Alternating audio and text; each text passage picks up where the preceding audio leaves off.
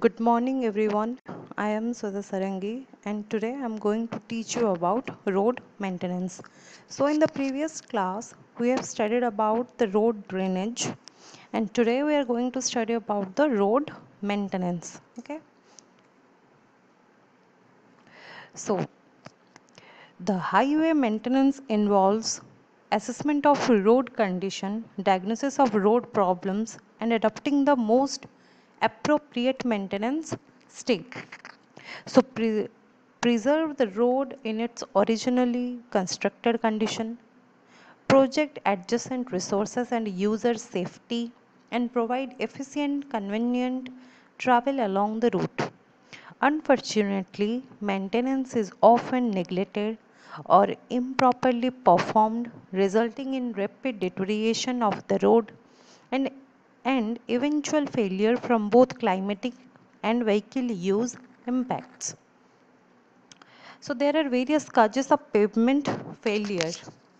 Like some of the general pavement failures that need maintenance measures like uh, defect in the quality of material used defect in the construction method and quality control during construction inadequate surface and subsurface drainage system resulting in water stagnation blockage of water in the subgrade or in the pavement layers environmental factors including heavy rainfall soil erosion, high ground table, groundwater table.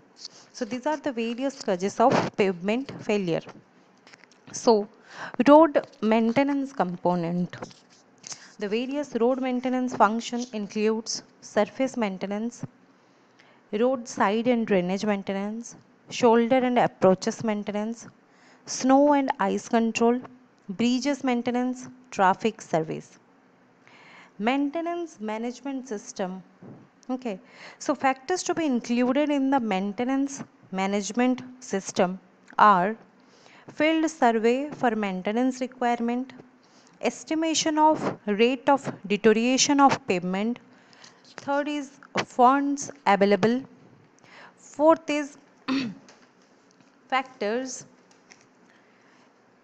influencing influencing maintenance such as climate, drainage system, etc. So there are various types of pavement failures. Mainly we are considering two types of failure. First one is failure in flexible pavement and the second one is failure in rigid pavement. Okay, so common types of road failures are again distinguished into four that is failure in subgrade, failure in subbase or base course, causes of premature failure, common flexible pavement failure and distresses. So causes failure in flexible pavement, it is, it is defined by localized depressions. The depressions are normally followed by rising or lifting in the surrounding area and ultimately leads to the formation of wavy surface. The localized depression may be developed due, the, due to the failure in any one component of the flexible pavement like failure in subgrade. Following are the two reasons for failure of subgrade layers. Excessive stress application. If the pavement thickness is inadequate or the loads are excess than the design speed value then the excessive stress development will occur. Hence, it harms the subgrade soil as load repetition increases. Next is inadequate stability.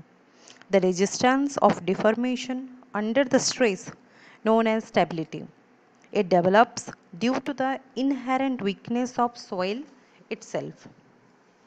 Next is failure in subbase or base course the main reason which contribute to the subbase or base layer are inadequate strength, inadequate wearing course, lack of lateral confinement pressure, loss of finding, binding action, use of inferior or low quality material. So inadequate strength means the in the poor mix proportion or inadequate thickness of pavement leading to lack of stability. Next is inadequate wearing course. The inadequate thickness or the absence of wearing course leads to the failure of pavement due to climate or traffic. Third one is lack of lateral confinement pressure. Absence of lateral confinement may cause spraying or granular materials on the axons of traffic. Next is loss of binding action. Repetition of wheel loads to the movement of aggregates causing lack of binding action leading to instability of the layer. And the last one is use of inferior or low quality material. Lack of standard quality of material affects the structural behavior of the pavement. Okay, so these are the major factors or major reasons for failures in sub-base or base course. Next is causes of premature failure. Before going to this, I'm just want to tell you that failure in wearing course. Like the reasons for the failure of wearing courses lack of proper mix design and lack of quality control. Okay.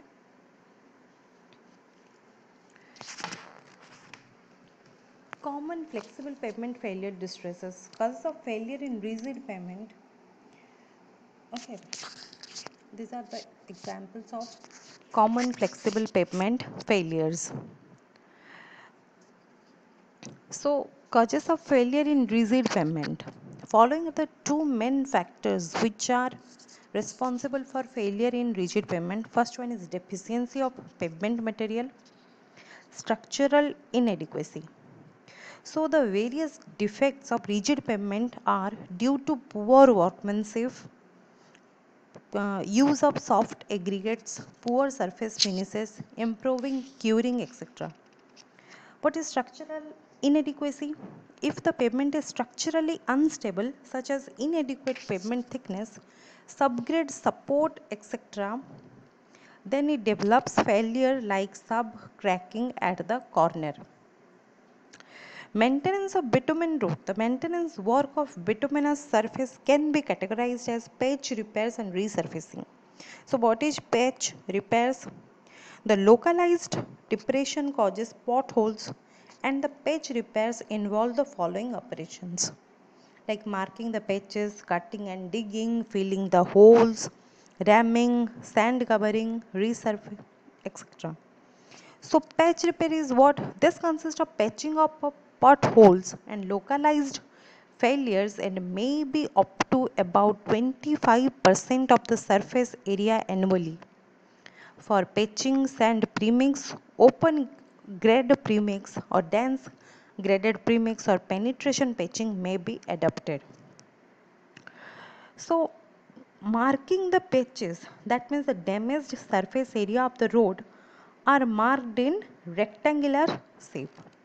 Next is cutting and digging. The marked portion is then excavated and the holes so formed are cleared and and uh, after the holes are so formed then primers are applied. Next is filling the hole. In case of pre-mixed pavement the excavation is filled with pre-mixed bituminous concrete. In case of penetrating type bituminous concrete filled with stones and then hot bitumen is powered poured to fill the voids next is ramming the filled material is hand operated by iron rammers or tamping bars. And the last one is sand covering. A layer of sand is sprinkled over the finished surface and the new repaired surface is opened to traffic after a period of one day. So this is all about our patch repairs. Okay. Next is surface treatment or resurfacing.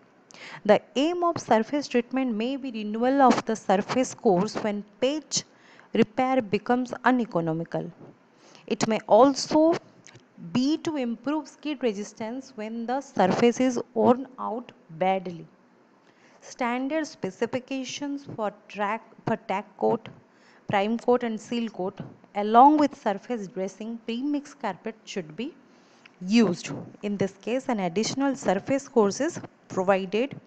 On the existing surface when the pavement surface is worn out and develops a poor riding surface. In case of poor pavement thickness also resurfacing is provided to strengthen the pavement okay? Thank you